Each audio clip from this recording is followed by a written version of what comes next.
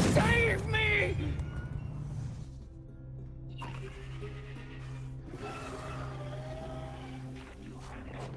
Hello, everybody. I'm a Rainbow, and I'm super excited about Demeo's Curse of the Serpent that's just released.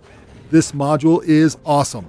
The desert setting is fantastic. It's got a new playable character and a whole bunch of new spell cards and effects, and it's guaranteed to leave you spitting expletives at some point. Now's the time for the spoiler alert. If you haven't played it yet and you don't want to know what you should or shouldn't do on that final level, then stop watching now. However, if you're looking for a few tips that might help you get to the end, this is the place for you. Along with all the other critters running around the final module, there is a three headed Hydra literally popping up in the very center of this module. It seems like this should be the boss for this level because it is hard to deal with all by itself. But the Hydra is just an obstacle. It's a very big obstacle, but only one part of the problems you have to overcome. No matter what characters you're playing or what strategy you're going to try, there's one thing you should do and two things you should never do. The one thing that you have to do is summon High Priest Umbral. There is one lit sigil on the ground for each member of the party.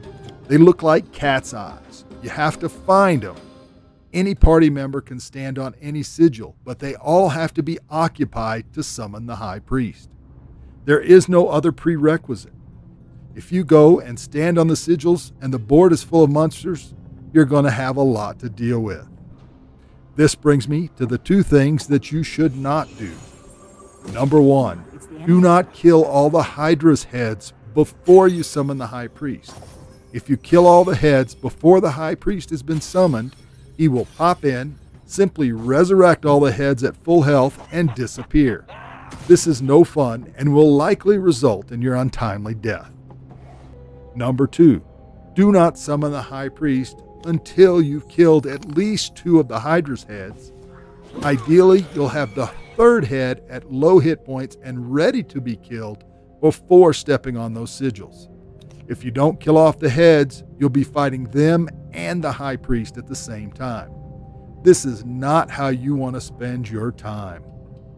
Now, I'm going to hit a couple of quick tips. The Hydra's heads can be stunned by hitting the Hydra's tail. Any attack on the tail that does damage will stun the heads for one turn. You can't keep them perpetually stunned because the tail will not show itself again until the turn after the heads can attack. High Priest Umbral is tricky because he creates doppelgangers each turn after the first. Then they all get shuffled up in front of you. These doppelgangers go away with any damage done to them, but if you lose track of Umbral, you're going to waste time and attacks trying to find the real one. One person in the party should try and track the priest during the shuffle. Just reach out and pretend you've got hold of him. It'll help keep your eyes focused on him rather than getting lost in that shuffle. The rest is up to you. I hope you have as much fun with this module as I'm having.